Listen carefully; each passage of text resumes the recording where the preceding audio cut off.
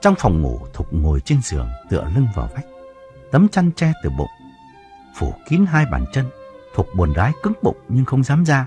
Sau một đêm chung giường với Trí, nàng không muốn nhìn mặt Trọng và Nam nữa. Dù bình thường, nàng vẫn coi cả hai như đứa em. Chí đứng trải đầu trước tấm gương lớn đặt trên bàn phấn của Thục, liếc mắt nhìn trong gương.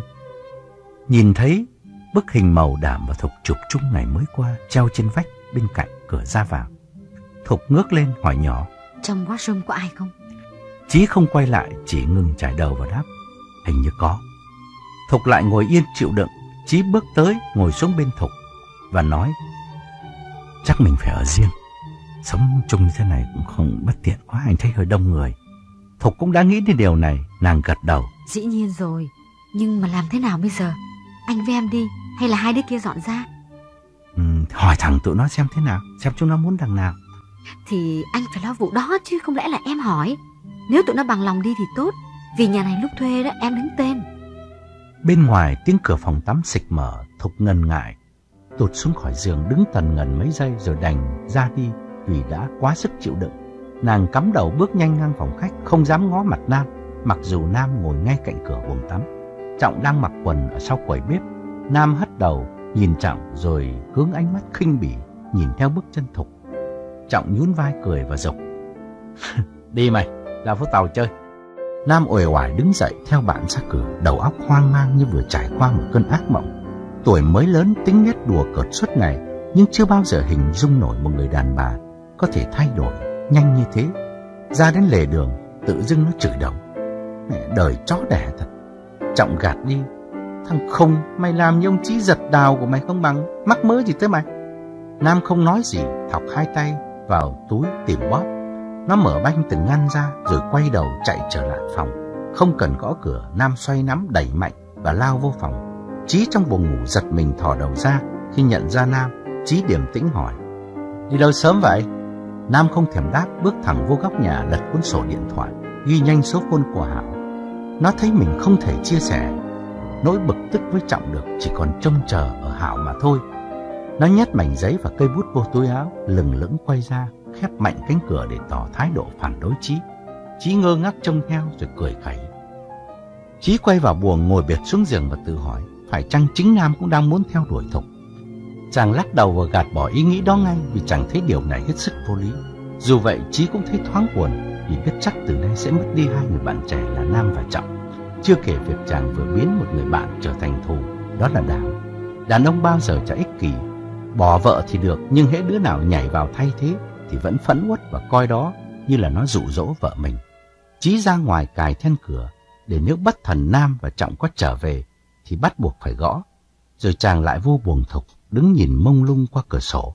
Một bà già người Hoa đang tưới rau buổi sớm, bên cạnh ông chồng gầy gò đăm chiêu luyện tài chi trên sân cỏ. Thoáng thấy chàng bà hàng xóm ngước lên chào, rồi cúi xuống tiếp tục xịt vòi nước. Nhưng bà lại ngẩng lên ngay và nhíu mày nhìn lại khuôn mặt của Chí Lâu lâu có dịp, ra làm vườn, bà vẫn thường nom thấy đảm xuất hiện sau khung cửa. Có hôm đảm còn hỏi thăm bà và khen những luống su hào, những trái dưa leo của bà hấp dẫn. Hôm nay rõ ràng khuôn mặt sau cửa sổ trong phòng riêng của Đảm, không phải là Đảm.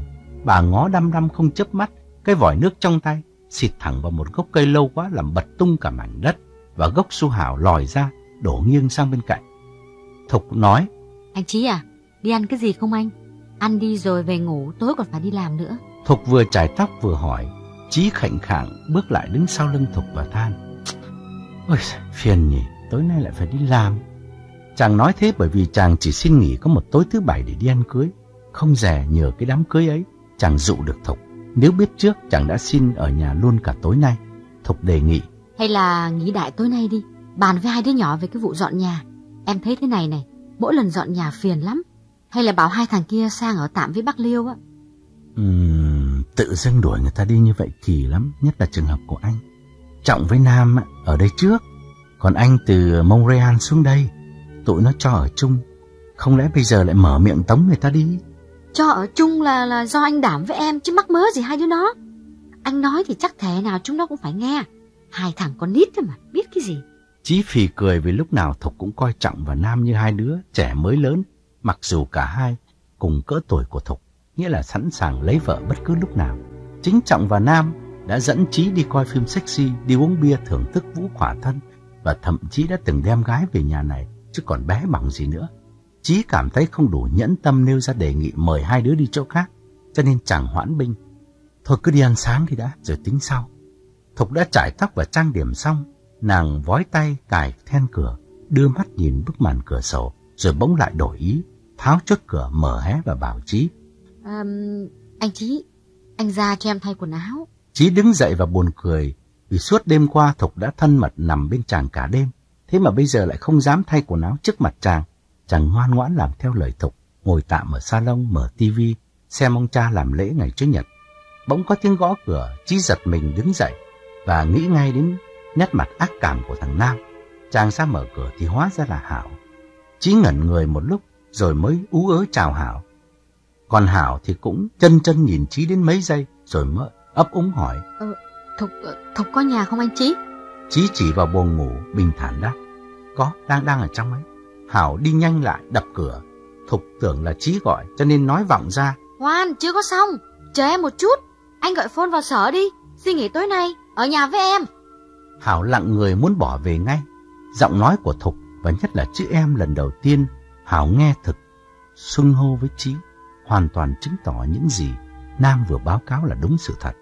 Lúc Nam ở quán cà phê phôn cho Hảo, kể chuyện hai người nằm với nhau suốt đêm qua, Hảo đã gắt lên vì tưởng Nam nói đùa. Nhưng Nam cũng quát lại và nhấn mạnh với Hảo. Chị qua mà coi, qua liền mà coi. Tôi coi ông đảm là anh tôi không nhẽ là tôi dám đùa dẫn vụ này sao? Hảo đang định gội đầu rồi nằm nhà nguyên ngày hôm nay, nghe bản tin xét đánh, tức tốc mò sang và sự thật đang diễn ra trước mắt. Hảo quay ra cửa, nhưng Thục thò đầu ra gọi lại. Ủa, mày đi đâu sớm vậy?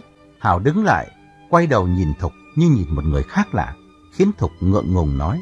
Um, vô, vô đây, vô đây chút đã. Đi đi đi đi ăn sáng với tụi tạ với với tao luôn nhé. Hảo trở lại bước hẳn vô buồng ngủ khép cửa lại, đăm đăm ngó Thục dò xét. Giọng Hảo run run. Mày... M mày với ông Chí... Nàng bỏ dở câu hỏi, mắt vẫn nhìn Thục chờ đợi. Thục thở dài rồi gật đầu. Dù câu chuyện chẳng dính dáng gì đến mình, Hảo cũng ê chề than. M mày mau quên quá à? Sao không chờ thêm một thời gian nữa xem ông Đảm có liên lạc về không? Thục nghiến răng gắt lên. Có về mà quỳ lại, tao cũng không thèm nhìn nữa. Hảo chua chát. Thì dĩ nhiên bây giờ mày còn nhìn ai nữa? Dứt lời, Hảo đứng dậy, lạnh nhạt dã từ. Thôi, tao về. Thục không muốn giữ, nhưng cũng mời một câu theo thói quen. Ở chơi đã, lâu ngày mày mới qua. Hảo xăm xăm bước ra cửa, hứng hở đáp. Bữa nay tao bận lắm. Nàng bước thẳng và không thèm chào Trí. Thục cầm bóp ra cửa đứng cạnh Trí. Cả hai cùng có cảm tưởng mọi người chung quanh đều thông đồng với nhau để tẩy chay họ vì chuyện tình gấp rút của Trí và Thục không có chính nghĩa. Trí gượng cười bảo Thục. Con nhỏ Hảo này mọi khi lịch sự lắm mà bữa nay cũng không thèm chào anh. Bỗng tức quất lên và nó, nói. Nó tưởng là nó đứng đắn lắm à. Làm gì mà nó không mò lên phòng ông Trúc. Hồi em mới ở qua đó đó, nó cứ làm bộ gây với em để đuổi em đi. Nó muốn ở một mình là tự do với ông Trúc. Ai còn lạ gì cái mặt còn đĩ nữa. Chí dịu giọng. Chuyện mình mình lo, chẳng cần để ý đến ai làm gì cho nó mệt. Chàng để ý thấy nhận xét của Thục đối với Hảo hết sức vô lý. Nếu Hảo muốn lấy Trúc thì cứ việc ngang nhiên sát vào với nhau chứ sợ gì Thục mà phải đuổi Thục đi. Dù sao đi nữa, Chí cũng thấy buồn vì mọi người quen đều tỏ thái độ lên án chàng. Lát nữa đây khi ra phố tàu đi bên cạnh Thục, chắc hẳn còn gặp nhiều người quen nữa nhìn chàng bằng ánh mắt kinh ngạc và rồi từ sự kinh ngạc chuyển sang khinh bỉ. Chàng tự hỏi không biết Thục có cùng một ý nghĩ như chàng hay không vì bề ngoài rõ ràng Thục không có vẻ gì là băn khoăn cả. Hai người vừa bước ra cửa thì lại có khách. Ông Liêu người hàng xóm già độc thân kinh niên bưng tách trà nóng tò mò qua thăm. Ông vừa được Nam báo bản tin xét đánh nên mò sang để tận mắt nhìn đôi gian phu dâm phụ. Nhưng vừa thấy Chí và Thục, chính ông vì quá tế nhị, sợ hai kẻ tội lỗi sẽ xấu hổ, nên ông quay vội đi. Chí cối lờ ông Liêu, nhưng Thục lên tiếng gọi. Bác Liêu, Chủ nhật mà dậy sớm thế. Ông Liêu đành phải quay lại, nhưng không biết nói gì. Một lúc mới phun ra được một câu, nhưng lại là một câu không đúng chỗ. À, có tin gì của cậu Đảm không? Chí bỏ Thục đứng trên thềm, vòng ra phía sau để lấy xe. Thục bảo ông Liêu. Chắc đi luôn rồi bác ơi. Rồi hai người đứng sớ dớ chẳng biết nói gì thêm. Ông Liêu thì băn khoăn nghĩ đến đảm giờ này chẳng biết ở đâu. Rồi lại mường tượng ra hình ảnh của Thục và Chí lăn lộn bên nhau đêm hôm qua mà thấy buồn cho mình một đời cô quạnh. Ông uống hớp trà rồi bảo Thục, thôi cô đi chơi nhé, tôi vào đây. Dứt lời ông quay gót. Cũng đúng lúc đó thì Chí chạy xe từ lối hông ra để đón Thục. Ở trên đảo, từ hôm Hảo đi, một mình Hằng trú ngụ trên lầu nhà hàng, ông Jim càng ngày càng đối xử rất tử tế với nàng. Rồi ông đóng cửa tiệm một tuần để nhân viên nghỉ hè. Hằng liền báo ngay cho Hảo biết. Hảo liên tiếp phone lên bảo Hằng phải về Vancouver. Hằng bàn với ông Jim về ý định đó. Ông rất e ngại, nhưng cũng đành phải chiều ý Hằng, mua vé khứ hồi, dặn đi dặn lại nàng, ngày trở lại. Ngồi trên máy bay, Hằng thấy lòng mình sao xuyến những cảm nghĩ rất kỳ lạ. Cho đến phút này, Hằng chưa hề mảy may nghĩ đến việc bỏ ông Jim. Hòn đảo tuy nhỏ nhưng cuộc sống êm đềm không có tội ác. Dân cư ít ỏi, chỉ đi lại vài lần hầu như đã quen mặt hết. Đám dân trải mỗi lần cập bến, gặp luồng cá tốt, ôm từng sấp tiền mặt vào quán uống rượu và đánh bài. Lúc đầu Hằng thấy sợ, chỉ nội nhìn những khuôn mặt dám đen, mái tóc ẩm mốc nước biển đã đủ làm Hằng kinh hãi quay mặt đi. Rồi lâu dần nàng nhận ra một sự thật là bên trong những con người sần sùi hung tận ấy chỉ là những người thường dân rất hiền lành. Họ say rượu, say nhũn người nhưng chả làm hại đến ai. Cái say của họ không giống như cái say giả vờ của ông ba, người hàng xóm cũ của Hằng ở Sài Gòn, chuyên mượn rượu để chửi thiên hạ, để dọa dẫm đốt nhà hoặc bắt nạt con nít. Ông Jim vắng mặt thường xuyên, nhưng Hằng không sợ. Không cần phải có ông bên cạnh, nàng quen công việc. Tiếng Anh cũng hấp thụ rất nhanh, nàng có lúc đã dám nghĩ nếu mai khi có vốn thì sẽ mở riêng một nhà hàng cũng chả thấy khó khăn gì. Nhất là dân Canada ăn uống dễ dàng, thứ gì cũng khen ngon. Cứ sống như hiện tại thì chả mấy chốc hàng cũng có tiền, vì mọi thứ chi phí hoàn toàn không phải trả. Hầu như trọn vẹn check lương đều đi thẳng vào ngân hàng hết. Thậm chí áo quần mặc thường nhật thỉnh thoảng ông Jim cũng còn tự ý bỏ tiền ra mua tặng hàng, khiến nàng đôi lúc cảm nghĩ những bộ quần áo ấy cũng nằm trong benefit mà nàng được quyền hưởng, không cần phải thắc mắc. Máy bay đáp xuống, Hằng hồi hộp đứng bật dậy, quên cả việc tháo dây an toàn. Nàng ngó qua cửa sổ và một lần nữa lại lo âu, không biết có Hảo ra đón hay không. Hằng đi nhanh theo đoàn hành khách xuống phòng đợi hành lý. Nàng thở phào nhẹ nhõm khi nhìn thấy Hảo, đứng bên ngoài cửa kiếng, giơ tay vẫy. Hằng chạy lại hớn hở nói lớn. Tao cứ sợ mày không ra đón. Câu nói tiếng Việt lớn quá làm mọi người chung quanh ngoái cổ lại nhìn. Hằng ngượng ngùng hạ giọng nói nhỏ hơn. Chờ tao lấy vali đã nhá. Sau lớp kính dày, Hảo không nghe được câu nói của Hằng, nhưng vẫn gật đầu để Hằng quay lại kiếm hành trang. Người phu quân vác đẩy chiếc xe tới chỗ Hằng, nhưng nàng lắc đầu và nói cảm ơn, rồi hai tay xách hai cái túi nhỏ ra cổng. Hảo đỡ vali cho chị và bảo. Chị đẹp ra đấy, nhưng mà bắt đầu diet là vừa. Hằng hỏi. Mày đi một mình à? Hảo gật đầu giải thích. Anh Trúc cứ đòi chở em ra đón chị, nhưng mà em không cho. Có người lạ khó nói chuyện lắm. Đứng chờ taxi, Hảo nhắc lại. Nhất định là ở lại luôn đấy nha. Đừng có về lại trên đó nữa. Cái chỗ khỉ ho cò gáy, ở mãi nó mụ người đi. Hằng cười. Bộ mày thấy tao mụ người lắm hả? Tao cũng văn minh có thua gì mày đâu. Hảo nói. Nhưng mà em nói rồi đấy, thả lại với em. Ở trên đó thì thà đừng có vượt biên. Hằng vẫn chưa nao núng. Tao mua vé khứ hồi, thứ hai tao về lại. Có muốn ở lại đây cũng không được. Phải lên thu xếp đồ đạc đã. Hảo gạt đi. Đồ đạc thì có cái gì mà thu xếp. Vứt hết đi. Em hỏi chị là tiền bạc ra sao? Chị có mang sổ ngân hàng về theo không? Hằng lại cười. Có chứ mày. Đồng tiền là liền khúc ruột mà. Sức mấy mà ta không mang theo. Hảo mừng rỡ nói. Thế thì được rồi. Chỉ việc ra ngân hàng ở đây là uh, bảo họ transfer chương mục của chị về đây là được. Lần đầu tiên Hằng nghe nói đến việc tiền có thể transfer từ thành phố này sang thành phố khác. Nàng ngờ vực hỏi lại. Nhỡ mất thì sao mày? Hảo được dịp lên mặt. Chị thấy không? Chị nhà quê quá à. Cứ ở trên ấy ít lâu là thành người rừng. Hai người chui vào taxi, ngồi cả ở băng sau. Hảo đưa địa chỉ cho tài xế rồi nói. Về nhà cất vali rồi mời anh Trúc đi ăn luôn nhé. Hằng không quan tâm đến chuyện đó, cũng không thèm hỏi xem Trúc là ai. Từ hôm đảm lên tìm nàng, nàng nghĩ nhiều đến Thục và lúc nào cũng xót xa tội nghiệp Thục bị phản bội. Với Hằng, Thục không khác gì một đứa em, đã có thời chung sống trên đảo tị nạn và nhất là đã chu cấp mọi chi phí cho chị em Hằng những ngày thiếu thốn nơi trại tạm cư. Hằng đập tay lên đùi Hảo và nhập đề. Sao? Con Thục bây giờ như thế nào? Hảo bĩu môi cay đắng. Ra sao cái gì? Ông Đảm bỏ đi mới hơn có một tháng nó ngủ ngay với ông Chí. Hằng sừng sốt hỏi. Chí là ai? Hào kể lể mọi chi tiết rồi kết luận. Ở như thế mà ở được. Cả anh Đảm và con Thục đều vô ý vô tứ. Dạo em mới về, còn nàng nặc kêu là em sống chung với quái đản chứ. Nhà có một người đàn bà mà đem tới ba thằng con trai về, ở chung cho nó đỡ tiền thuê. Hằng ngắt lời. Như vậy là làm sao? Ông Chí đó lén lút với con Thục trước hay là anh Đảm đi rồi hai người mới lấy nhau? Hảo ấm ức đáp. Làm sao mà biết được? Cái con Thục cả trớn lắm. Nhà một lũ con trai nằm la liệt ngoài, ngoài phòng khách mà nó cứ ăn mặc hớ hênh chả giữ gìn gì cả. Còn ông Đảm nữa, tự dưng ở với người ta rồi bỏ đi. Đến bây giờ chả ai biết ông đi đâu, sống hay chết nữa. Hằng ngồi yên một lúc lâu, taxi về gần đến phố Tàu. Nàng mới buồn bã tiết lộ. Ông Đảm, ông lên đảo tìm tao đấy. Hảo sừng sốt quay nhìn Hằng, rồi chỉ một giây sau, Hảo nghĩ rằng Hằng nói đùa, cho nên Hảo ngờ vực hỏi lại. Mấy mà ông mới biết đường lên đó, chị đoán thử xem là ông ấy đi đâu. Hằng nghiêm nghị nói. Thật mà, ông ấy lên tìm tao. Dứt lời Hằng ngó ra ngoài và suýt xoa kêu lên. Trời ơi, phố tàu đây à, đẹp quá. Hay hay là xuống đây đi, xuống cho tao coi một tí. Hảo gắt nhẹ. Dẹp phố tàu, lúc nào coi chả được. Em hỏi chị là ông Đảm có lên tìm chị thật hay không? Hằng vẫn nhìn ra ngoài và đáp. Bộ tao nói chơi à? Hảo hỏi. Thế tại sao số phone uh, uh, uh, em, em phone chị bao nhiêu lần chị không nói? Và Hảo trợn mắt hốt hoảng. Hay, hay, hay là chị với ông ấy? Hằng tặc lưỡi gạt đi. Thôi đi, tao không có nói với mày là vì như thế này này, câu chuyện dài dòng lắm. Lúc mà ông ấy lên á, tao tưởng là đi chung với mày với con Thục. Hóa ra là ông ấy đi một mình. Ông ấy nói dối là mày nhờ ông ấy lên đón tao. Dĩ nhiên là tao không có tin. Vì cho dù rằng mày có nhờ đi nữa thì ít ra ông ấy phải đi chung với con Thục chứ. Nói chuyện một hồi thì ông ấy thú nhận là ở với con Thục không có hợp. Ông lên tìm tao. Đàn ông mất dạy thật. Nói thế mà nghe được. Ở trại tị nạn á thì mình tưởng ông tử tế. Hóa ra cũng cả trớn như mọi thằng khác.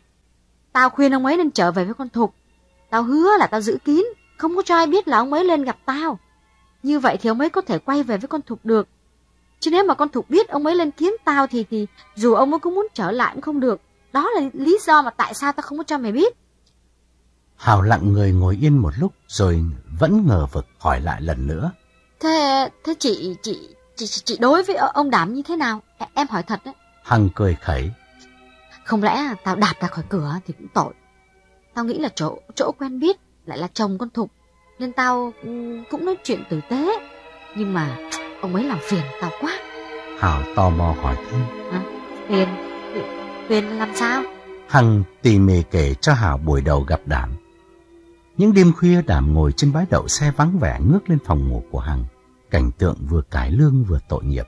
Sau đó Đảm đến gặp ông Jim xin việc trong bếp, cốt ý để có cơ hội gần gũi Hằng. Nhưng hàng suối ông Jim không thông nhận. Có đến cả 10 hôm, ngày nào Đảm cũng ghé quán năn nỉ Hằng, dù Hằng đi chơi, và lần nào Hằng cũng từ chối. Trước sau nàng chỉ khuyên Đảm hãy trở về với thực.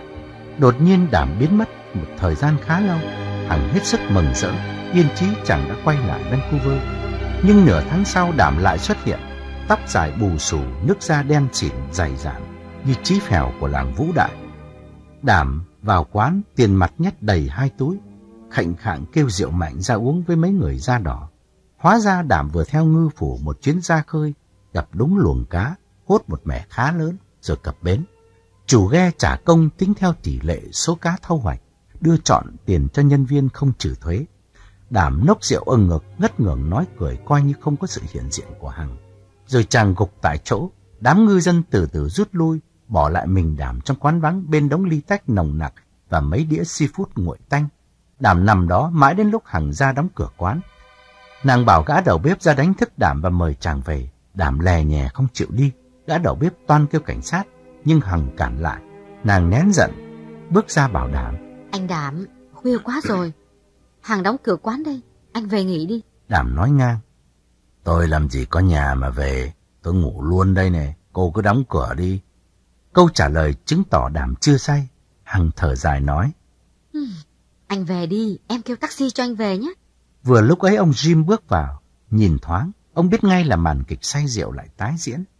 Mấy năm mở tiệm, ông đã quen mắt với tình huống này, nhất là sau mỗi chuyến ghe trải cập bến.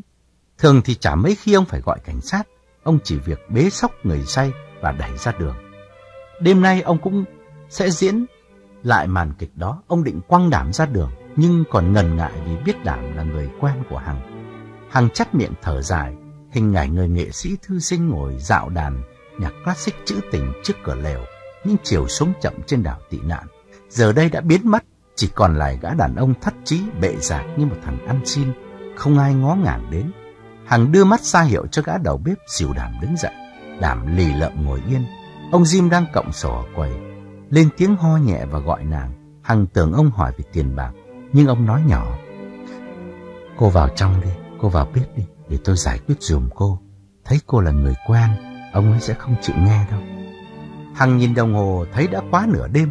Nàng thở dài và chấp nhận đề nghị của ông Jim. Nàng vào bếp đứng một chút rồi lên lầu. Đêm đó Hằng chằn chọc khó ngủ, nghĩ đến đảm, lòng nàng chẳng còn chút thương hại nào, chỉ toàn căm giận và xấu hổ với ông Jim vì có người bạn không biết điều. Cả hai có lẽ cùng tỏ tình với Hằng và cả hai cùng bị khước từ, nhưng phản ứng của ông Jim và Đảm hoàn toàn khác nhau. Ông Jim điềm tĩnh như không hề ngỏ ý, còn Đảm thì quấy rầy, thậm chí muốn đến nằm vạ ở tiệm ăn như một hình thức áp lực nàng phải đoái hoài tới. Hành động đập cửa kiếng của đảm một đêm mưa là một trò quá đáng, có thể nói là bần tiện. Ăn thua gì đâu, bảo hiểm sẽ đền kiếng khác. Nhưng đảm thì vào nằm bót, cảnh sát một cách vô lý. Hằng bực bội mấy lần toan điện thoại về cho Thục biết, nhưng ngẫm nghĩ rồi lại không dám phôn nữa. Hằng sợ Thục sẽ đặt câu hỏi là tại sao đảm lên đó đã hai tháng trời, mà bây giờ Hằng mới thông báo. Cái hôm mà đảm đập cửa kiến thì chưa hôm sau, Hằng đến cảnh sát lãnh đảm ra đảm tỏ vẻ hối hận và hứa sẽ rời đảo, vĩnh viễn không gặp lại Hằng nữa. Chàng run run nói, anh, anh xin lỗi Hằng, anh sẽ đi xa, quay về với Thục thì chắc chắn là không về được nữa. Anh đã quyết định sai lầm. Hằng nguôi cơn giận nhìn Đàm tội nghiệp. Thế tại sao anh không về với Thục? Đâu có ai biết anh lên đây đâu. Không ai biết nhưng mà tự anh cảm thấy không đủ can đảm. Anh anh định đi đâu bây giờ? Anh chưa biết đi đâu. Nhưng nội hôm nay, nội hôm nay anh sẽ vào đất liền, rồi tính sau. Hằng muốn nói vài lời dịu dàng với Đảm trước khi chia tay, nhưng lại sợ Đảm hiểu lầm và nán lại. Nàng yên lặng một lúc rồi từ giã dứt khoát. Um, chúc anh đi may mắn nhé. đàm cười buồn. Có biết đi đâu mà may mắn. Giá cứ ở lại đây lâu lâu theo tàu đi đánh cá cũng sướng. Một năm chỉ cần hai ba chuyến là đủ ăn rồi. Hằng cho đó là một lời níu kéo, nhưng không thèm đáp, đảm hiểu ý. Thôi, vậy thì Hằng về đi, anh, ngày mai anh sẽ chia tay. Hằng chào đảm một lần nữa. Lâu lắm, lúc nàng rẽ sang khúc đường khác, cố ý liếc mắt trông lại, vẫn thấy đảm còn đứng bất động nhìn theo. Rồi từ ngày ấy tuyệt nhiên, Hằng không còn gặp lại đảm nữa. Cả tháng sau có đám thanh niên từ đất liền ra chơi Vua quán ăn nói chuyện với Hằng, nàng lân la hỏi thăm Đảm và được biết Đảm hiện chung sống với một cô gái da đỏ. Hỏi thăm về việc làm thì chẳng ai biết Đảm làm gì, chỉ thấy chàng thường ra phố khuân bia về cho con bé da đỏ uống. Đời một người nghệ sĩ thất tình không ngờ lại chấm dứt thảm hại như vậy. Hằng kể xong câu chuyện cho Hảo nghe thì xe cũng vừa về tới nhà. Trúc đứng chờ ở cổng, lăng xăng chào hỏi và xách vali cho Hằng. Dù không chú ý lắm Hảo cũng nhận ra ngay cặp mắt thẫn thờ một cách kinh ngạc của Trúc khi vừa thấy Hằng bước xuống xe. Đã coi hình, đã nghe Hảo nói nhiều về Hằng, Trúc vẫn không ngờ nhan sắc của Hằng vượt trên dự đoán của chàng. Chàng toan lên tiếng nhắc lại đề nghị mời hai chị em đi ăn, thì Hảo chặn họng. Từ từ, từ từ một chút đi ăn Trúc, tụi này còn nhiều chuyện phải bàn gấp lắm. Với lại à, cho cho cho chị Hằng em nghỉ một tí đã nhé. Trúc ngoan ngoãn gật đầu. Vâng, hai hai cô xuống xuống nghỉ đi, tôi ngồi chờ trên nhà. Trúc mang hành lý vào hẳn basement rồi quay ra, khép cửa để hai chị em nói chuyện thoải mái. Hảo nhập đề ngay câu chuyện nàng muốn kể với Hằng. Đấy, ông Đạm thì như vậy, mà con Thục nó còn tệ hơn nữa. Đúng là ông ăn trả bà ăn nem. Em thấy đàn bà bên này nó nó kỳ lắm. Hễ còn con gái thì không sao, mà cứ có kết có chồng rồi thì đâm ra ghiền. Thiếu đàn ông một ngày là không được. Chẳng hiểu sao việc đàm bỏ Thục trong ý nghĩ của cả Hằng lẫn Hảo đều không bị lên án nặng bằng việc thục ngủ với Trí. Hình như hai người vẫn còn mang nặng đầu óc Việt Nam, coi chuyện đàn ông bỏ vợ hay ngoại tình không quan trọng lắm. Mà hết đàn bà lệch lạc là bị coi như một vấn đề chấn động. Hằng bước lại quầy bếp vặn vòi nước lạnh hứng vào ly, rồi bưng ra salon uống một hớp và hỏi Hảo. Thế bây giờ hai người công khai ở với nhau hay sao? Hảo nhấn mạnh. Thì từ trước đến giờ vẫn vẫn chung nhà Hằng hỏi thêm Nhưng mà sao mày bảo là có hai cái anh chàng nào nữa kia mà Biết đâu chỉ nghĩ oan cho con Thục Hảo nhấn mạnh Ờ hay Chính mắt em thấy cơ mà Thằng Nam phone báo tin cho em Em không có tin Em chạy sang thì quả tang là anh chị nằm chung giường tỉnh mơ Hằng hững hờ nhận xét. Um, Thôi thế thì cũng xong. Tao khỏi thắc mắc gì cho con Thục. Lúc mà ông đảm mò lên tìm tao Thú thật với mày Tao nghĩ tao tội nghiệp cho con Thục lắm. Hóa ra nó cũng chẳng đáng thương. Người ta bảo ngày vui qua mau Mà thực tế thì ngày buồn cũng qua mau mày nhỉ. Hằng đứng dậy mở vali và bảo Hảo. Nhà nhà có cái bàn ủi không? Ta đi tắm một cái Thay quần áo Rồi muốn đi đâu thì đi. Ờ hay là phone cho con Thục một tiếng Hảo gạt đi. Thôi phone làm gì? Em ghét cái mặt. Từ hôm đó đến giờ em có thèm liên lạc với nó đâu. Hằng cười. Mày làm như là nó giật thép của mày không bằng. Kệ nó Chuyện tình là chuyện riêng tư. Dính dáng gì đến mình? Dù sao thì nó cũng tử tế với chị em mình từ lúc ở trại tị nạn cơ mà. Hảo đứng dậy đi lấy bàn ủi cho chị và than. Chị lúc nào cũng ơn với Nghĩa. Trong sách người ta nói Kẻ mà nặng ơn Nghĩa quá thì sẽ không làm được việc lớn. Hằng cười. Ừ thì ta có làm cái việc lớn gì đâu Thôi kệ cứ phone cho nó một tiếng. Hảo bảo. Nó vẫn làm ca chiều 11 giờ đêm mới về. Chị muốn phone thì đi ăn cơm đã. Nửa đêm về gọi cho nó cũng không sao. Hảo cắm bàn ủi dọn bàn ăn Trải tấm màn mỏng lên cho Hằng ủi đồ. Vừa làm và vừa kể. Nó có gọi em mấy lần Nhưng mà em chỉ nói chuyện qua loa. Em biết chắc nó cũng buồn lắm á. Hằng lôi hết quần áo trong vali quăng lên giường. Nàng trách. Nó thì nó có phải là bà con họ hàng gì của mình đâu. Kệ nó. Mày cứ lo chuyện thiên hạ Thế bây giờ nó với ông Trí ở chung với hai cái ông gì? Hay, hay là đã, đã dọn ra riêng rồi? Hảo nói. Ông gì? Thằng Trọng với thằng Nam à? Hai đứa còn nít. Thật sự thì Trọng và Nam không con nít như Hảo nghĩ. Chỉ vì cả hai cùng lứa tuổi với Hảo Và trong ý nghĩ của Hảo Thì người đàn ông cùng tuổi với đàn bà Luôn luôn chậm trưởng thành hơn phụ nữ. Cho nên nàng lúc nào cũng coi thường Nam và Trọng. Hảo không biết rằng Cả hai gã có lúc đã mon men tán Hảo và tìm đủ mọi cách khuyên Hảo ở chung Ngày nàng mới từ đảo về Vancouver Trong quá khứ Lúc Hảo chưa về Nam đã từng mang gái về nhà ngủ và Trọng thì chi khá nhiều tiền cho tiệm nhảy sexy cũng như báo Penthouse và Playboy. Cái khác biệt giữa Trọng và Nam là mối liên hệ tình cảm đối với Đàm. Nam rất quý Trọng Đàm cho nên gã bị sốc mạnh khi khám phá ra trí ngủ với Thục. đã buồn giàu báo tin cho Hảo rồi từ hôm ấy, tuy vẫn ở chung nhưng ban đêm qua ngủ luôn nhà ông Liêu. Nó thấy chán thế thái nhân tình khinh bỉ những kẻ phản bội, mặt mũi lúc nào cũng cau có ít khi mở miệng nói chuyện với Chí và Thục. Nam dò la tin tức của Đàm nhưng tìm mãi vẫn không ra. Nó tâm niệm rằng dù Đàm có bỏ đi bao lâu thì Thục vẫn phải chờ đợi bởi vì lá dụng về cội. Trọng thì khác hẳn, gã nhận định một cách đơn giản rằng Thục thèm khát đàn ông. Cho nên một đêm khi Chí đi làm, Nam sang nhà ông Liêu, chỉ còn một mình Trọng và Thục chia nhau căn phòng vắng, thì Trọng thản nhiên gã gẫm Thục. Trọng nghĩ rằng Chí làm được thì gã cũng làm được Và cả tuần nay gã rất hối hận đã không nhìn thấu tính lẳng lơ của Thục để ra tay trước. Đêm hôm ấy, khoảng 11 giờ Chí vừa phôn về nói chuyện với Thục trong lúc Trọng nằm ở sofa coi tivi Theo dõi mẩu đối thoại Trọng biết hai người đang cãi nhau về vụ mướn nhà. Thục thì đòi Chí phải tìm chỗ khác Đưa nàng ra riêng. Chí thì cứ dùng rằng tiết tiền và tiết căn nhà này gần phố tàu Tiện đường xe đi làm. Thục gay gắt kết luận. Anh không đi thì tôi đi Tôi không thể ở chung như thế này được mãi. Rồi nàng hậm hực cúp phôn Mang đồ ngủ vô phòng tắm. Trọng nằm ngửa nhìn lên trần Rất ngạc nhiên về thái độ của Thục. Ngày còn là vợ đảm Chính Thục rủ thêm người để chia tiền nhà. Bây giờ lại muốn lập tổ uyên ương riêng với Trí Lúc Thục từ phòng tắm ra Đứng ở quầy bếp sấy tóc Trọng mon men đến sau lưng nói nhỏ Tôi muốn nhà riêng Thục lại ở với tôi chia tiền nhà nhé Thục nhìn Trọng toan phì cười. Thằng nhãi con này từ trước đến nay vẫn gọi nàng bằng chị. Hôm nay bỗng dưng đổi giọng run run tán tỉnh. Nàng nghênh mặt, lườm gã. Ngon nhỉ? Nói thế mà nghe được à? Rồi nàng lờ đi tiếp tục sấy tóc. Nhưng nàng thấy bàn tay Trọng đặt trên vai mình và tiếng nói thiết tha phía sau. Ông Chí không chịu đưa Thục đi thì Trọng mời Thục đến ở với Trọng. Thục cầm cái máy sấy đập mạnh lên bàn tay Trọng, gã rụt lại và kiên nhẫn tiếp. Ông Chí cũng vậy, tôi cũng vậy, có khác gì đâu. Nghe Trọng gọi tên mình, Thục đã ứa gan rồi. Huống hồ nó lại dám đặt tay lên vai nàng.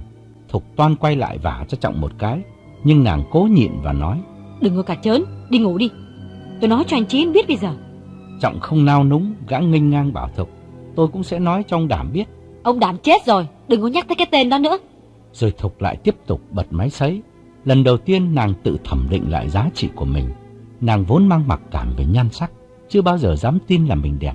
Bởi vậy yêu đảm, nàng hết sức tôn thờ đảm và tự nghĩ mình có phước lớn lắm mới lấy được người như đảm. Thế mà đảm đi mới có một tháng, Chí đã lăn vào. Rồi bây giờ đến trọng, toàn là con trai độc thân không đuôi, mù sứt mẻ gì cả, thầm yêu trộm nhớ nàng từ lâu, chỉ chờ có cơ hội để ngỏ ý. Như vậy thì rõ ràng là nàng đã tự đánh giá mình quá thấp. Nàng không đẹp nhưng chắc chắn phải có duyên lắm, cho nên cả Chí và Trọng đều say mê. Và biết đâu cả thằng Nam nữa, chắc vì vậy, vì ít lâu nay, Nam luôn luôn tỏ ra hờn dỗi đối với Chí. Thục tắt máy sấy, quay lại hỏi Trọng bằng một giọng dịu dàng hơn. Trọng dọn ra thật sao? Mà đã tìm được nhà chưa? Trọng thấy Thục đã siêu lòng, hớn hở đáp. Thằng Đông nó cho tôi hay là cái building ở đường Broadway có phòng trống, hai trăm rưỡi một tháng. Ở đó tiện xe bus lắm, vì Broadway là đường chính mà, đi đâu cũng dễ. Thục sừng sốt hỏi. Ừ, Trọng định bao giờ dọn ra?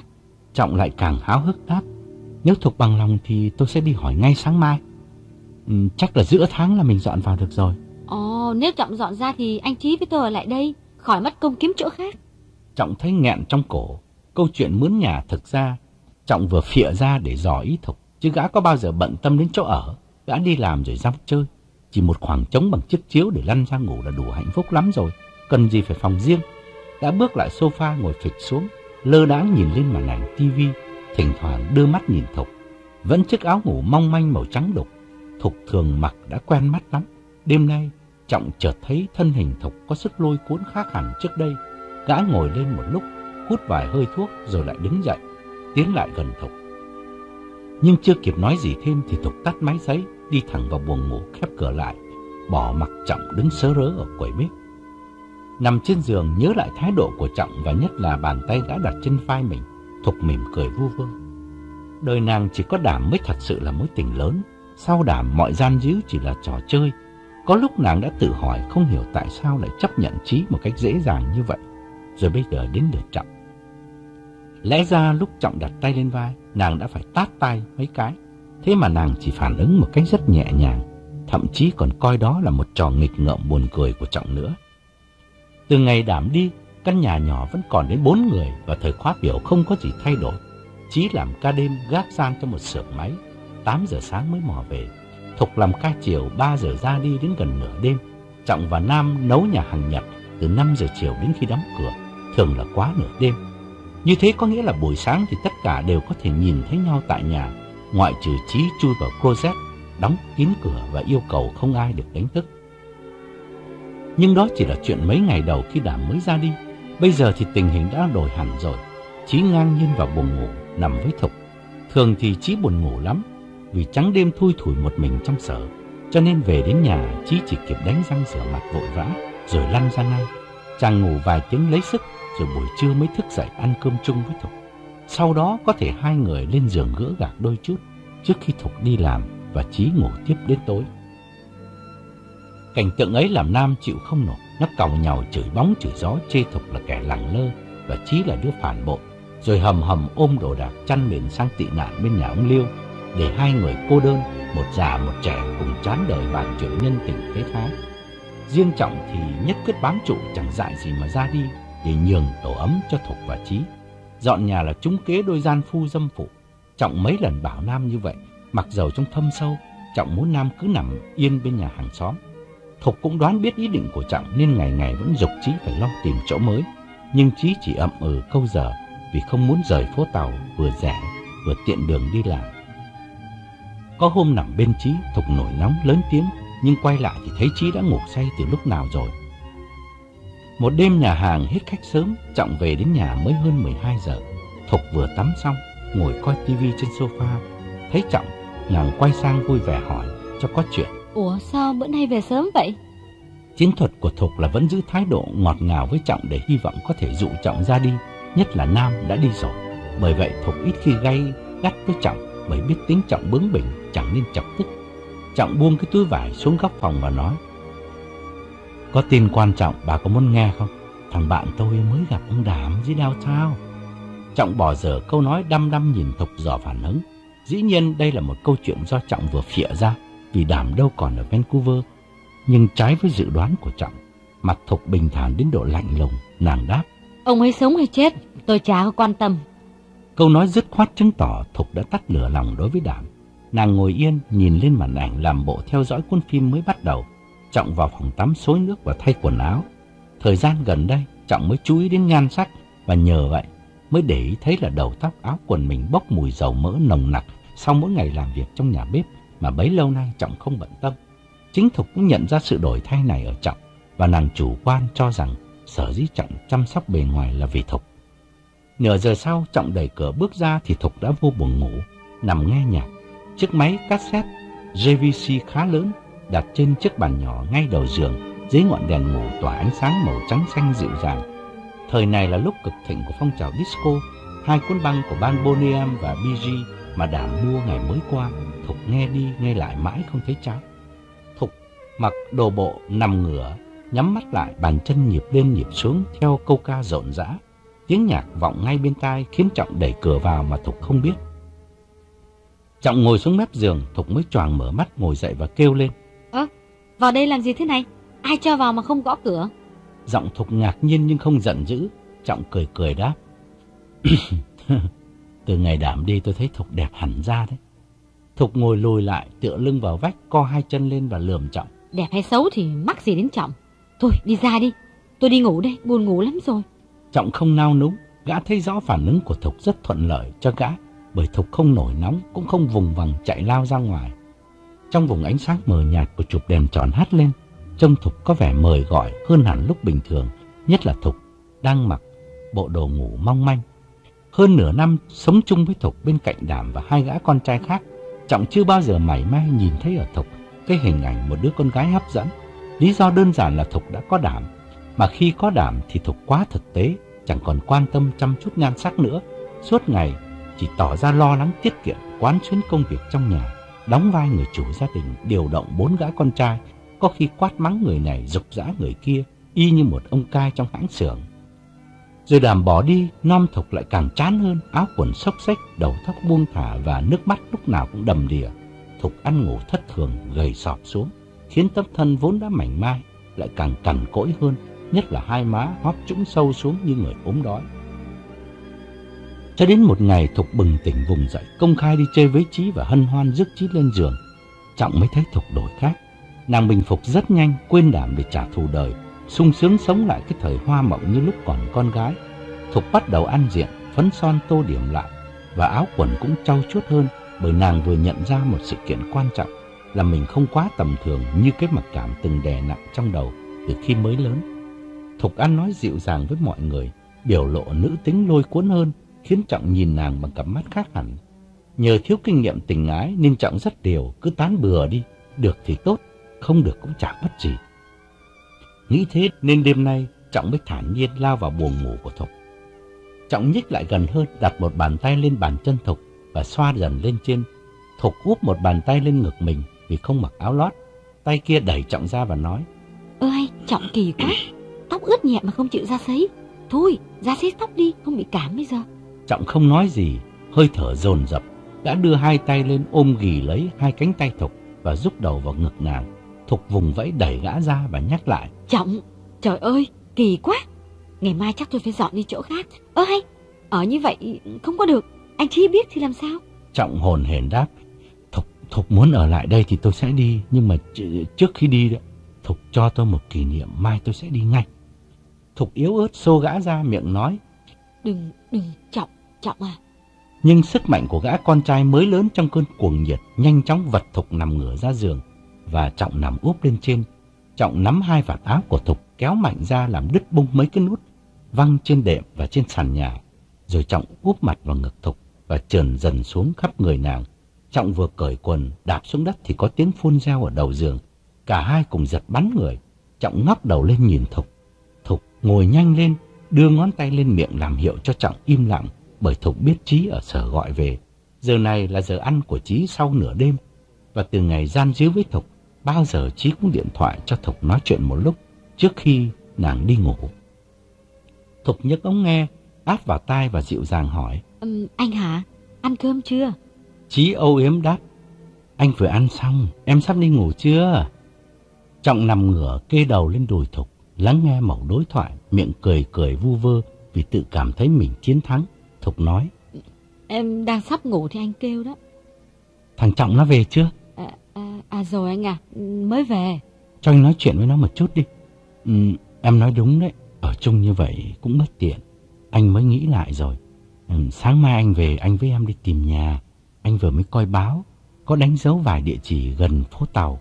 Mai anh đưa em đi. Em em em kêu thằng Trọng cho anh đi. Nó không chịu dọn ra thì mình đành đi vậy. Miễn là ở gần Chinatown là được rồi. Anh với em đi làm đều tiện. Kêu thằng Trọng cho anh đi. Anh nói với nó vài câu không có nó giận. Trọng ngẩng đầu lên, xua bàn tay làm hiệu từ chối, rồi nhướng mắt chỉ ra ngoài. Thục hiểu ý bảo trí. Ừ, anh ơi, Trọng, Trọng nó đang tắm. Em, em nằm trong buồng, thay đồ ngủ rồi. Ngại ra lắm.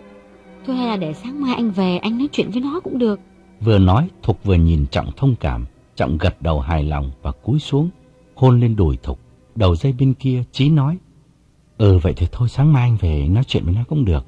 Nhưng mà chỉ sợ là sáng anh về thì nó còn ngủ. Rồi lúc nó dậy thì anh lại ngủ.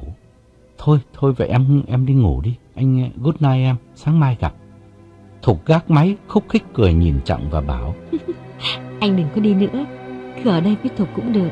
Anh Chí có nhắc thì bảo là anh ấy cứ để từ từ, nhớ nhé. Thục chưa nói hết câu, Trọng đã cuống quýt kéo Thục nằm xuống và xoay người ôm ghì lấy. Thục cũng nồng nàn đáp lại tấm thịnh tình, chỉ khẽ kêu lên nho nhỏ. Ờ, tóc anh ướt quá. Rồi nàng nhắm mắt lại và quên hẳn người tình mới là Chí, đang thơ thẩn một mình cầm đèn pin đi tuần tra cả một xưởng máy khổng lồ nằm im lìm trong bóng đêm. Sáng hôm sau, Chí đi làm về, Trọng còn đang say giấc trên sofa. Thục đã thức từ lâu nhưng nằm yên trong buồng, lâng lâng suy nghĩ về cuộc đời mình và khám phá ra bản chất con người tích thực của mình, vốn tràn đầy những khao khát thầm kín. Ở quê nhà vì trai thiếu gái thừa kém nhan sắc như Thục, thường dễ bị đời quên lãng, đã thế lại bị ràng buộc bởi những quy luật xã hội khắt khe, nên Thục không có cơ hội bung ra. Bây giờ qua đây sống giữa bảy con trai đang tuổi lớn, nàng chợt nhận ra sức lôi cuốn của mình và sẵn sàng buông thả theo bản năng thụ hưởng mà người chung quanh chẳng mấy ai bận tâm phê phán. Có chí rồi lại thêm trọng, Thục thấy mình đã sai lầm khi coi Đàm là hình ảnh độc tôn từ bấy lâu nay. Đàm chẳng hơn gì Chí và Trọng, Thục hãnh diện tự thấy mình là một tụ điểm sáng ngời để ba chàng trai trẻ tuổi cùng lao vào. Đêm qua Trọng nằm ôm Thục, đến khoảng 3 giờ sáng. Thục mới dục Trọng ra ngoài vì sợ cả hai sẽ cùng ngủ quên trong buồng khi Chí đi làm về. Rồi nàng nằm thiếp đi được mấy tiếng và giật mình tỉnh dậy lúc trời chưa sáng rõ. Nhìn đồng hồ biết Chí sắp về, Thục lấy quần áo đi tắm, ngang qua phòng khách, nhìn Trọng nằm ngửa đắp tấm chăn trên bụng. Thục tiến lại, cúi xuống hôn trên trán Trọng. Gã u ớ mấy tiếng nghe không rõ, rồi xoay người nằm nghiêng ngủ tiếp. Thục mỉm cười vào phòng tắm rửa mặt. Thay quần áo xong, Thục trở lại buồng ngủ. Nằm được một lúc thì nghe tiếng cửa mở bên ngoài và bước chân Trí rón rén ở phòng khách. Trí tiến lại khẽ xoay nắm cửa buồng Thục và nhìn vào. Thục nằm im, hồi hộp chờ đợi. Nhưng có lẽ vì tưởng nàng còn ngủ say nên Trí bỏ vào phòng tắm. Bình thường Trí vốn lười tắm, đi làm về là lăn ra ngủ ngay. Nhưng từ ngày được ôm ấp Thục dĩ nhiên Trí chăm lo nhan sắc hơn, nghĩa là một tuần ít lắm cũng phải xối nước đôi ba lần. Chí từ phòng tắm bước ra thì Trọng cũng vừa tỉnh dậy. Sau một giấc ngủ trưa đủ cỡ, Trọng lơ mơ nhìn quanh, rồi một phút sau mới sực nhớ ra đêm qua đời Trọng vừa bước sang một khúc quanh mới. Thục là người đàn bà đầu tiên đến với Trọng, ngoại trừ những cô gái giang hồ mà Trọng trả tiền để giải quyết một cách miễn cưỡng. Trọng ngồi bật lên, nhìn Chí, vừa ngồi xuống sofa. Chí vẫn là bạn của Trọng, nhưng hôm nay Chí gánh thêm một chức năng mới nữa là tình địch. Trọng gượng cười nhìn Chí, hỏi một câu không cần hỏi. Về rồi đấy à? Chí dịu dàng bảo Trọng. Tao nghĩ kỹ rồi. Nếu mày không muốn dọn ra thì để tao với Thục đi kiếm chỗ khác cũng được. Mày với thằng Nam ở lại đây cho bác Liêu đỡ buồn. Trọng cũng tha thiết đáp lại. Tao chả hiểu tại sao Thục với mày cứ đòi dọn đi. Ở riêng làm gì cho tốn. Dạo trước đảm với Thục ở đây, thêm ba thằng chúng mình nữa có sao đâu. Tuy đông nhưng mà ai cũng đi làm cả, về là lăn ra ngủ có thấy nhà chật trội bao giờ đâu. Chí gật đầu đồng ý. Thì tao cũng nói thế, nhưng mà Thục không bằng lòng. Lát nữa Thục ngủ dậy, mày nói với Thục một tiếng dùm tao. Tao đâu có muốn dọn đi. Ở đây đi làm tiện quá lại gần phố tàu. Chí vừa dứt lời thì Thục từ buồng ngủ bước ra. Thục mặc đồ bộ màu vàng nhạt, mặt mũi tươi tỉnh vì đã trang điểm phơn phớt lúc Chí chưa về. Trọng chố mắt nhìn, hồi tưởng lại mấy tiếng đồng hồ vừa rồi, ôm ấp Thục và hình dung đêm nay màn kịch mặn nồng ấy sẽ lại tiếp diễn khi Chí đi làm. Thục tiến lại ngồi xuống bên cạnh Chí, tựa hẳn đầu vào vai Chí, âu yếm như một cặp vợ chồng mới cưới, nhưng ánh mắt nhìn Trọng ngầm trao một dấu hiệu cảm thông mà chỉ hai người biết với nhau. Chí bảo Thục, Trọng nó nói đúng đấy em ạ, việc gì mình phải dọn đi, nhà bây giờ chỉ còn có ba người, hồi đó năm người không thích chật, sao bây giờ ba người mà lại than chật là làm sao? Cũng câu nói tương tự như thế của Chí từng làm Thục nổi điên và quát ầm nhà lên bởi vì Chí hoàn toàn lạc đề. Vấn đề đâu có phải là nhà chật mà vì Thục cần tự do riêng biệt với Chí. Từ ngày sang đây Thục còn hà tiện hơn cả Chí, đâu có muốn trả tiền nhà nhiều, nhưng muốn hạnh phúc thoải mái thì phải dọn ra riêng. Đó là chủ ý mà Thục vẫn thúc giục Chí. Hôm nay thì Thục lại thấy khác rồi. Cả hai gã đàn ông trong căn nhà này đều là người tình của Thục, thì Thục dọn đi để làm gì nữa? Nàng đưa cánh tay quàng qua lưng Chí và tỏ vẻ vâng lời Chí. Vâng, anh tính như vậy thì cũng được. Thôi thì tạm thời cứ ở lại đây chia tiền nhà. Ở đâu quen đấy, mình mà đi xa thì chắc bác Liêu cũng buồn lắm. Nàng lại đưa mắt nhìn Trọng nhưng ngầm nói cho gã biết rằng vì gã mà nàng bằng lòng ở lại. Thế là từ đó Thục coi như mình có hai ông chồng ở chung một nhà. Ban ngày nàng dành sự chăm sóc cho Trí, ban đêm là thời gian nồng nàn với Trọng. Chuyện đời tái ông thất mã, biết thế nào mà lường, đảm bỏ nàng hóa ra nàng chẳng thiệt thòi gì cả. Giờ này đảm có quay về mà đòi hàn gắn thì cũng đã muộn rồi.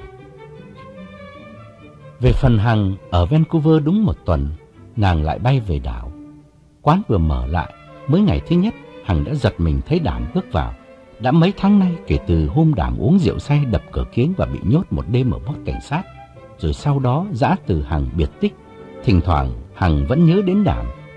Như nhớ một người thân mà cuộc sống nhiều thăng trầm kỳ lạ, đôi khi làm Hằng áy náy vì có cảm tưởng chính mình, gây nên nỗi thống khổ của Đảm.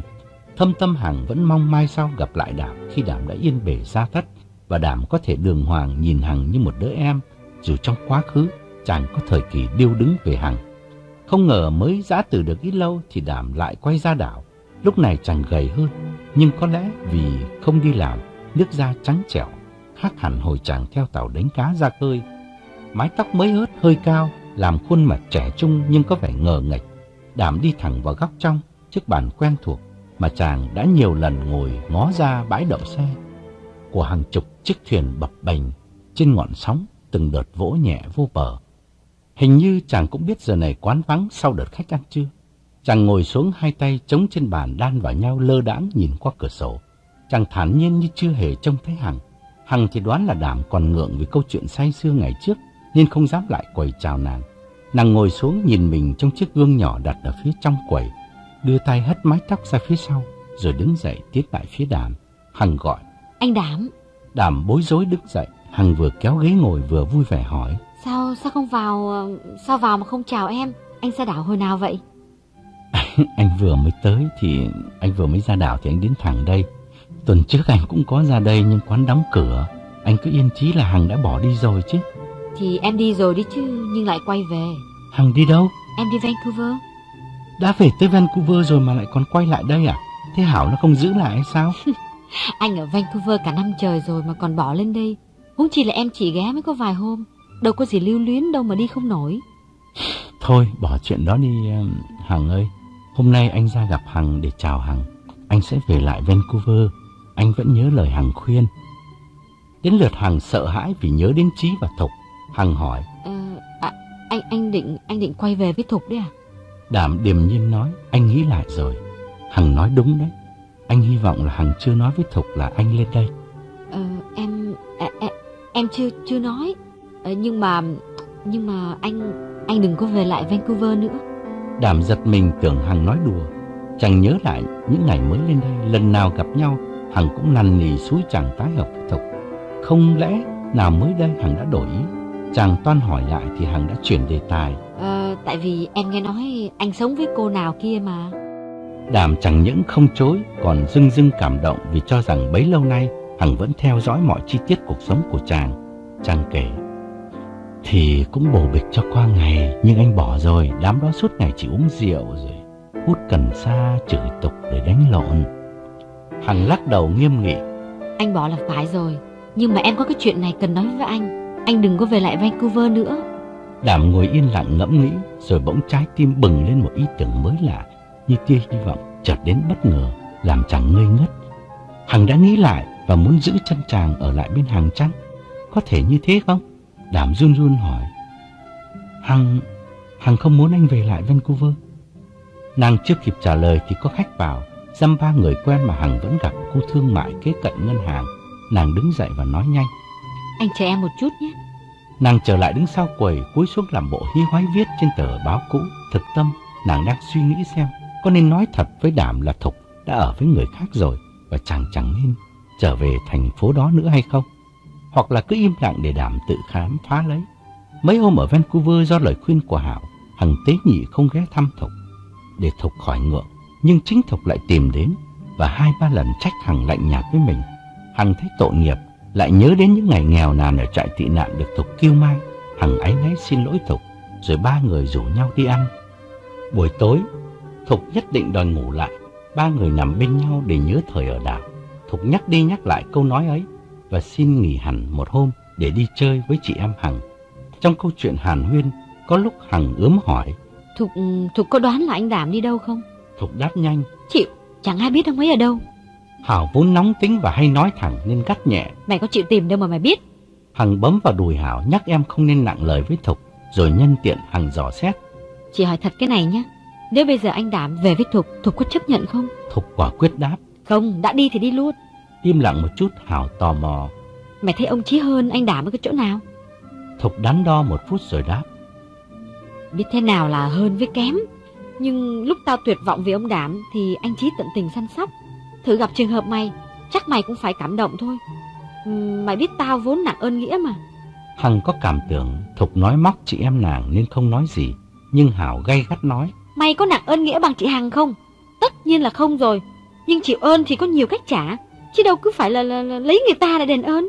Hằng lại véo vào đùi Hảo. Nếu cứ nằm kiểu này mà nghe Hảo nói thì chắc sáng mai một bên đùi Hảo sẽ sưng lên vì bàn tay của Hằng. Hảo bướng bỉnh đáp. Yêu thì lấy, không yêu thì không lấy, chứ đừng có nói ơn nghĩa. Câu nói ấy thực ra Hảo muốn nhấn mạnh để cảnh giác Hằng vì Hằng luôn luôn nghĩ mình chịu ơn ông Jim. Đã về đến Vancouver có Hảo bên cạnh mà Hằng dường như chỉ nhớ đến ông Jim và cái nhà hàng trên đảo. Hằng khước từ tất cả mọi lời rủ dê của người chung quanh, khăng khăng quay về đảo vắng. Đúng dự định, khiến ai cũng ngờ vực nàng có tình ý với ông Jim. Chuyến thăm Vancouver chỉ giải quyết cho Hằng được một chuyện, đó là từ nay không tội nghiệp Thục nữa, bởi biết chắc Thục đã có người yêu mới. Thôi thế cũng xong, Đàm và Thục chẳng ai nợ nần gì nhau, mỗi người tắp vô một bến bờ mới. Nào ngờ hôm nay gặp lại Đàm, Hằng chới với nghe Đàm ngỏ ý muốn quay về với Thục, nàng phân vân chẳng biết có nên nói sự thật hay không. Ngẫm nghĩ một lúc Hằng bước ra ngồi xuống chiếc ghế cũ đối diện Đàm, chàng nhắc lại lần thứ ba câu hỏi cũ. Ừm, ý Hằng muốn anh ở lại đây hay sao? Không, em chỉ nói là anh không nên về lại Vancouver nữa. Tại sao vậy? Thì tại thì uh, cái cái chỗ đó nó khó kiếm việc làm lắm. À, tại vì em nghe nói ở bên Calgary hay là Edmonton gì đó nó nó dễ tìm việc hơn. À, người Việt thì các nơi cứ đổ về đó nhiều lắm vì dầu hỏa phát triển mạnh. Sao sao anh không sang bên đấy? Thì cũng phải gặp lại Thục đã xem Thục có bằng lòng dọn đi hay không. Chưa chắc là Thục đã chịu đi vì đang có việc làm. Chuyến này anh về Vancouver. Nếu tìm việc không ra thì anh xin đi học. Nhưng mà anh anh đã đã đã phone cho Phục Thục chưa? Hôm qua anh có gọi nhưng không thấy ai trả lời. Chắc là cả nhà đi làm cả. Anh phải gặp lại Thục. Ờ, nó hỏi anh mấy tháng nay đi đâu thì anh trả lời làm sao? Thì anh sẽ bảo là anh qua Mỹ chơi. Anh nói đi đâu cũng được, miễn là đừng nói anh lên đây tìm em nhé. Dĩ nhiên rồi, mà Hằng có chắc là Thục chưa biết anh lên đây không? Phần em thì em không có cho ai biết cả. Nếu chẳng may Thục biết thì chắc chắn là do người khác chứ không phải do em. Ngừng một chút, Hằng lại thêm. Nhưng mà anh Đảm à, việc đó bây giờ nó nó cũng không quan trọng nữa. Hằng thấy chẳng nên giấu Đảm. Thục đã có người khác, Đảm quay về chỉ bẽ bảng hơn thôi. Nhưng Đảm quá tự tin, chàng nghĩ rằng dù có phiêu bạt bao lâu đi chăng nữa, thì Thục vẫn chờ chàng, cho nên chàng hỏi. Hằng gặp lại Thục ừ, lúc này thấy thế nào, mập hay ốm, chắc là ốm đi nhiều phải không? Mấy chữ ốm đi nhiều Đảm nói ra với giọng thương cảm, vì tin chắc là Thục thao thức nhớ nhung mất ăn mất ngủ vì chàng. Nhưng Hằng thản nhiên đáp. Vẫn bình thường thôi, chững chạc hơn ngày ở đảo một tí, ăn diện hơn một tí nữa. Anh cứ ở mãi trên này thì chả mấy chốc mà anh thành mọi. Ở thành phố lớn dù sao người ta cũng văn minh hơn. anh nói vậy thì chắc em cũng sắp thành mọi rồi. Đảm lắc đầu rồi chuyển về chuyện cũ. Ừ, Thục vẫn ở căn nhà cũ phải không? Hằng có đến đó hay không? À, không anh à, Thục đến đằng nhà Hảo rồi gặp em. Cô không đến mà xem căn phòng của tụi anh. Trời ơi, nhỏ xíu mà bốn năm người ở, vui lắm. Hằng nhìn Đảm và tự hỏi tại sao Đảm lại có thể ngây thơ đến như thế. Một mình Thục chung sống với ba gã con trai mà Đảm vẫn không mảy may ngờ vực. Vẫn tin tưởng mình là hào quang trói lọi mà Thục không thể quên được. Cứ như Thục kể thì anh chàng trí nào đó không hề thua kém Đảm bất cứ điểm gì. Hằng nhịn không được nữa, nàng bảo Đảm. Ờ, anh xa Thục mấy tháng thì có chắc rằng Thục còn nhớ đến anh hay không? Đảm toan phì cười vì câu hỏi ngây ngô của Hằng. Dưới mắt Đảm, Thục không có nhan sắc, được Đảm ôm ấp là cả một vinh hạnh ngàn đời. Làm sao dám quên Đảm? Chàng nghênh ngang hỏi lại. Bộ Hằng thấy Thục quên anh rồi sao? Anh còn mong cho bà ấy quên luôn á, cho anh cho anh anh muốn cho bà ấy đỡ khổ. Hằng nghiêm nghị nói chậm rãi từng chữ. Anh khỏi phải mong. Thục nó quên anh rồi. Anh đừng có về nữa. Đàm vẫn cười, mặc dù trong lòng bắt đầu hoang mang. Chàng nói, như vậy thì càng tốt, anh đỡ bận tâm. Anh Đàm à, em nói thật đấy, em không đùa đâu. Đàm ra vẻ hiểu biết. Anh bỏ đi đột ngột tất nhiên là cô ấy giận. Mà giận là phải, nhưng mà không sao, anh biết tính Thục mà. Gặp lại anh chỉ xin lỗi một câu là đâu lại vào đấy. Đó là ý nghĩ thực trong thâm tâm đảm. Từ thuở mới lớn, chàng đã rất tự tin về tình cảm. Đời chàng, có lẽ Hằng là bóng hình duy nhất làm chàng điêu đứng. Chàng nhớ những năm trung học và ngay cả sau ngày mất nước, chung quanh chàng, người thương mến khá đông, từ dáng dấp bên ngoài và nhất là ngón đàn guitar ngọt ngào đã giúp chàng nổi bật dưới cái nhìn của nhiều phụ nữ. Thục trước sau chỉ là một nhân vật tầm thường mà chàng thương hại nhiều hơn yêu đương. Lời nói của chàng là sức hút, là mệnh lệnh đối với Thục, cho nên chàng chẳng bao giờ bận tâm, ngờ vực Thục thay đổi. Nhưng lần này thì đảm hố to, những điều đảm nghĩ về Thục, chỉ đúng khi Thục chưa có người thay thế. Hằng lại nói chậm từng chữ. Thục nó đi theo người khác rồi. Đảm trồm người lên hỏi, ai? Nó theo ai, thật không? Em, em làm sao biết được? Cái ông Chí nào đó ở chung với anh? Đảm nhíu mày nhắc lại, thằng Chí à, thằng Chí gác gian à? Và chàng vớt vát thêm, Hằng nghe người ta đồn vậy hay sao? Ơ hay, thì chính Thục nó kể cho em chứ ai đồn. Mà mà chẳng cần Thục kể ai cũng biết. Đảm tái mặt từ từ ngồi tựa ra thành ghế, không nói được lời nào nữa. Lúc bị Hằng từ khước, chàng đau nỗi đau của kẻ thất tình thực sự. Giờ này bị Thục quay lưng, chàng đau niềm đau của người bị sỉ nhục, bị xâm phạm tự ái. Nỗi ê chề của một người thua trận trước mặt địch thủ mà mình coi tầm thường. Chàng thừa người nhìn ra cửa sổ bàn tay run run đặt trên mặt bàn. Chàng nghĩ đến trí thằng bạn tư cố vô thân mà chàng đem về kêu mang, bỗng chốc trở thành nuôi ong tay áo. Hằng dè dặt lên tiếng. Anh... anh không thể trách Thục được, tại anh bỏ đi mà. Đàm cười gượng. Anh có trách đâu, anh có trách đâu, anh anh anh chỉ không ngờ thôi. Rồi chàng lại ngồi im ngó ra bến tàu. Hằng hỏi. Anh Đàm, uống thêm cà phê em lấy nhé. Đàm lơ đãng không trả lời. Hằng phải nhắc lại lần thứ hai, chàng mới xua tay từ chối. Thôi, thôi anh cảm ơn Hằng. Ông Jim vừa từ cửa sau bước vô quán ngạc nhiên thấy Đàm lại xuất hiện và Hằng ngồi chung bàn nói chuyện. Ông tiến lại quầy lật nhanh những tờ phiếu tính tiền để ước lượng số khách từ sáng đến giờ. Sau một tuần đóng cửa nghỉ hè, khách trở lại chưa đông, nhất là đám ngư dân còn lênh đênh trên mặt biển. Tuần tới mới cập bến. Ông ngẩng lên nhìn Đàm lưỡng lự một lúc rồi bước ra bắt tay và hỏi thăm vài câu. Đảm đang chết điếng trong lòng nên tiếp chuyện ông Jim một cách hết sức hờ hững. Ông Jim thì tưởng chàng còn xấu hổ về vụ phá quán, nên ông tế nhị rút lui vào bếp để mặc Hằng nói chuyện. Nàng ái ngại nhìn Đảm. Anh, anh định đi đâu bây giờ? Anh chả biết đi đâu. Giá như mà anh gặp lại Thục, Thục bỏ ông Chí quay về với anh, Thì anh có bằng lòng không? Đàm cười nhạt. Làm gì có chuyện đó? Chuyện đó là chuyện nào? Làm gì có chuyện Thục quay lại với anh hay là làm gì có chuyện anh bằng lòng nối lại? Đàm nói theo cơn tự ái. Anh đâu có phải là thằng hèn mà chấp nhận cho nó quay lại. Anh Đảm, ái tình làm gì có chuyện hèn với không hèn? Hay là hay là em đề nghị như thế này nhé, anh phone về cho Thục trước. Nếu mà Thục nó vẫn còn thương anh thì anh nên về lại, không thì thôi. Đàm không trả lời, chỉ thường thượt thở dài. Chàng không hối hận mình đã bỏ lên đây tìm hàng. Cuộc phiêu lưu mấy tháng vừa qua cũng cho chàng nhiều hương vị kỳ lạ. Vài chuyến ra khơi sống chung với ngư phủ, vài tuần ăn nằm với cô gái da đỏ lúc nào cũng sặc men rượu. Đời có thêm chút ít chất liệu làm kỷ niệm.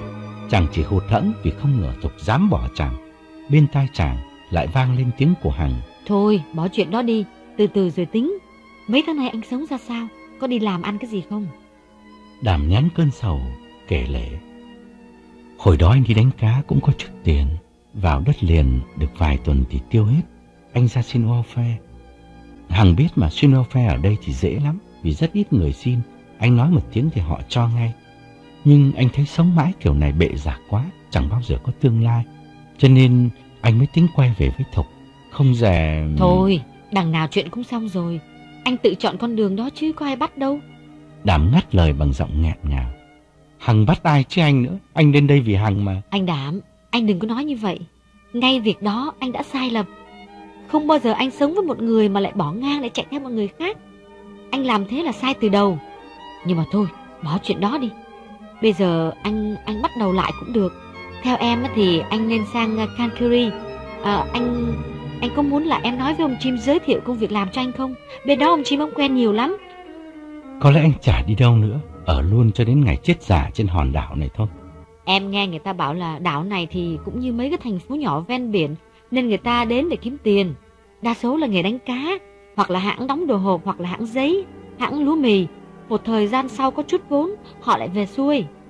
Chứ nếu lên đây chỉ để sống thì phí cuộc đời lắm. Đàm uể ải gật đầu, vừa nói vừa bước ra ngoài. Thôi, anh chả còn lý do gì để ở lại đây nữa. Chàng đứng trên thềm quán thọc hai tay vào túi quần, đôi mắt mệt mỏi nhìn ra vùng biển bao la, có những con thuyền nhấp nhô ẩn hiện lúc còn lúc mất. Chàng lặng lặng bước xuống, băng ngang khu đậu xe mà chàng còn nhớ thật rõ một đêm mưa, ngồi chịu đựng nước nhìn lên ánh đèn vàng mờ hắt ra từ cửa sổ phòng ngủ của Hằng. Từ trong quầy ngó ra, nhìn theo bước đi thẫn thờ của Đảm, Hằng cũng vừa chợt nhớ tới cái đêm u ám, Đảm ngồi trên bãi đậu xe, ánh mắt đắm đuối trông lên khung cửa hẹp. Những ngày kế tiếp, Đảm não nề nằm vật trong phòng, câu chuyện Hằng kể có lúc chàng vẫn nửa tin nửa ngờ. Không lẽ Đảm bỏ đi có mới ít lâu mà Thục đã quên ngay để quẹo sang thằng Chí là đứa mà Đảm vốn đánh giá rất thấp. Dằn vặt mãi, Đảm quyết định phun về cho Hảo. Chàng lôi trong túi tấm danh thiếp của nhà hàng ông Jim mà Hằng trao cho chàng. Trên đó Hằng ghi số điện thoại mới của Hảo. Đảm run run quay số nhưng chờ khá lâu, chuông reo đến cả 10 lần vẫn không có ai trả lời. Hảo lúc này mê học lắm, không đến trường thì cũng ngồi miệt mài trong thư viện. Nàng nghe lời Trúc tự bảo mình rằng phải giỏi anh văn thì mới có căn bản theo đuổi những ngành nghề khác hoặc làm thương mại sau này. Hảo thấy đúng bởi bản thân Hảo đã từng trải qua những ngày khổ sở bên cạnh ông Jim vì thiếu khả năng ngoại ngữ. Bởi vậy Hảo quyết định bỏ hẳn ra một năm hoặc hơn nữa chỉ để học anh văn không thôi ở một trường chuyên môn. Ông Liêu thì chỉ cho nàng một phương pháp thực tập mà ông đã từng áp dụng một cách khá hiệu quả. Đó là ông ân cần mở cửa đón tiếp những người giảng đạo của giáo phái Jehovah Witness vào đàm đạo với ông. Những tín đồ kiên nhẫn ấy cứ tưởng rằng ông hăng say tìm hiểu kinh thánh, đặt ra hàng loạt câu hỏi để họ trả lời. Nhưng kỳ thực ông chỉ coi họ là những ông thầy giáo đến tận nhà dạy tiếng Anh miễn phí cho ông mà thôi. Chẳng những thế, nghe ông than nghèo lâu lâu họ còn mang quà lại cho ông nữa. Gọi Hảo không được, Đạm phôn sang trong liêu để thăm dò tình hình. Đàm chỉ muốn biết chắc là có thật Thục đã bỏ chàng theo thằng Chí hay không, để chàng quyết định không bao giờ vấn vương hình bóng Thục nữa. Con người bao giờ cũng nuôi hy vọng, có những chuyện trái ý đã lộ liễu rành rành ra mà người ta vẫn hy vọng đó chỉ là tin đồn. Đó là tâm trạng của Đàm lúc này. Hằng đã kể rõ như thế mà Đàm vẫn mong lời của nàng chỉ là một phỏng đoán mơ hồ. Lúc Đàm gọi, ông Liêu không có nhà, ông vừa thả bộ ra phố tàu xem thiên hạ đánh độ cờ tướng trước cửa một dạp hát, chỉ chiếu suốt tối.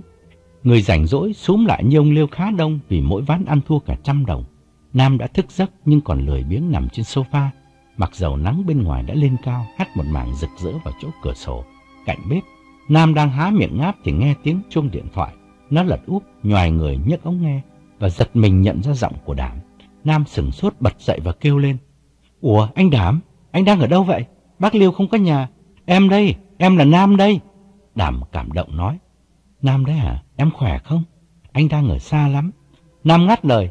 Bên Mỹ hả anh? Chừng nào thì anh về? Mà hồi anh đi tại sao anh không cho em biết? Lúc nào em cũng nhớ anh. Đảm nói loanh quanh một hồi rồi nhập đề hỏi thăm về Thục. Trong căn nhà năm người hồi đó chỉ có Nam là ít tuổi hơn cả và là bà con xa với Đảm cho nên tình thân vẫn gắn bó nhất. Cũng chính vì thế mà khi thấy Chí nằm ngủ với Thục, Nam là người tự cảm thấy đau đớn hơn cả vì thương ông anh họ của mình. Bây giờ nghe Đàm hỏi, Nam uất ức kể lệ. Anh Đàm ơi, em mong anh về lại Vancouver với em, nhưng anh đừng nghĩ đến bà Thục nữa. Khốn nạn lắm anh ơi, anh vừa đi là bà ấy theo ngay ông Chí, bởi thế em mới bỏ sang ở tạm bên Bắc Liêu. Lời xác nhận của Nam làm đảm lặng người á khẩu. Hằng nói chàng còn đôi chút ngờ vực, nhưng Nam nói thì đảm chẳng còn lý do gì nữa mà không tin. Chàng im một lúc, rồi hỏi thêm một câu vớt vát. Vụ đó em có chắc không Nam? Nam thống thiết gào lên. Chắc gì nữa mà chắc. Chính mắt em nhìn thấy hai người nằm với nhau trên giường mà bà Thục không có mặc quần áo gì hết đó. Em gọi thằng Trọng dậy chỉ cho nó. Nhưng nó chỉ cười không nói gì. Em bực quá mới chửi cho nó một trận rồi em dọn sang đây. Từ đó em gặp ông Chí em không thèm chào nữa. Đảm kẹp ống nghe vào cổ và nén tiếng thở dài. Nam lại tiếp. Em rủ thằng Trọng sang ở với em nhưng nó không đi. Nó nói là đi là trúng kế của ông Chí đấy. Nó còn bảo em là em cứ đi trước đi, nó ở lại để ngăn cản thằng Chí, chờ anh về. Đảm chán nản nói, anh không ngờ thằng Chí do chính anh đón về ở chung. Nam ngắt lời, anh có định về lại Vancouver không anh? Đảm ủi hoài đáp, anh chưa định gì cả, mà về làm gì nữa cho xấu hổ. Anh hỏi, hỏi thật em chuyện này, thì mới chỉ trong nhà biết hay là... Nam lại ngắt lời bằng giọng não nề hơn. Công khai lâu rồi anh ơi, cả thành phố ai cũng biết. Vì hai người ngang nhiên đi đâu cũng có nhau mà. Đảm buông xuôi. Nếu thế thì anh còn mặt mũi nào mà về. Nhưng Nam cãi lại. Sao anh lại nghĩ thế? Về đi anh, anh về đây. Anh về đây rồi anh với em sang chửi cho ông Chí một trận. Cả bà Thục nữa. Chửi vào mặt hai người đó cho đỡ tức. Rồi anh với em dọn qua Calgary tìm việc. Em sẽ rủ cả thằng Trọng cùng đi với mình. Anh về đi anh. Anh ở bên Mỹ đâu có giấy tờ hợp lệ mà đi làm. Anh về đi em tức lắm. Phải chửi cho chúng nó một trận. Với lại anh còn xe, cộ đồ đạc tất cả đều đứng tên anh mà. Không nhẽ anh bỏ lại hết cho thằng Chí nó xài. Thà anh tặng cho Salvation Army. Đảm thấy cũng có lý. Chẳng đắn đo dặn dò Nam vài câu rồi gác máy. Hẹn sẽ gọi lại sáng mai. Về phần Nam, chút được nỗi ấm ức qua cuộc điện đàm nó thấy nhẹ trong người phần nào. Nhìn đồng hồ thấy đã gần 12 giờ trưa. Nam ngồi bật lên và buồng tắm đánh răng rửa mặt rồi chạy sang tìm Trọng để báo tin Đảm vừa gọi về. Nam vẫn chưa biết Trọng bây giờ cũng đã là người tình thứ hai của Thục, cho nên vẫn tưởng Trọng còn có thể đứng về phía mình để chống lại kẻ thù chung là Chí và Thục. Nam đập cửa mấy tiếng, nét mặt hầm hầm chờ đợi vì đoán chắc là Thục sẽ ra mở cửa, bởi Chí giờ này còn đang ngủ say. Nhưng Nam đoán sai, người đón nó là Trọng vì Thục vừa ra phố tàu. Nam lôi Trọng ra hẳn ngoài hành lang và nói, anh Đảm vừa phôn về, Trọng sừng sốt ngắt lời. Ông ấy sắp về lại đây à? Nam lắc đầu. Tao gọi anh ấy về nhưng chả biết có về hay không. Có điều anh ấy biết bà Thục ngủ với ông trí rồi. Tội nghiệp anh ấy quá. Trọng nhìn Nam thương hại. Cả tháng nay làm chung trong nhà hàng Nhật. Nam cứ lại nhài chửi bới Chí và Thục. Nhiều lúc lơ là cả việc nấu bếp khiến thằng chủ phải gay gắt nhắc nhở. Dĩ nhiên lúc đầu thì Trọng hoàn toàn đồng ý với Nam lên án Chí. Nhưng bây giờ thì tình hình đã khác hẳn. Dưới mắt Trọng, Thằng Chí mới là đứa đáng tội nghiệp, bởi đêm đêm khi Chí quạnh hưu canh gác xưởng máy, thì Trọng nằm ôm Thục một cách thoải mái. Và lần nào giữa cuộc mây mưa, Chí cũng phôn về để được nghe những lời nũng nịu yêu đương của Thục. Ngủ với Thục, Trọng chỉ có đôi chút mặc cảm với Đảm, chứ hoàn toàn không dính dáng gì đến trí bởi trí cũng là kẻ chiếm đoạt Thục y như Trọng. Trọng bảo Nam, Hơi đâu mày cứ lo cái chuyện đó hoài à, dẹp đi Nam ơi.